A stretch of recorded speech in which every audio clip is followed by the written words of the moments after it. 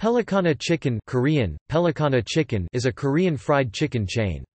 Its headquarters are in Gyeryong, South Chungcheong Province, South Korea. As of 2014, Yang Hee Kweon is the CEO. As of 2013, it had over 2,000 locations in South Korea and also has locations outside of South Korea.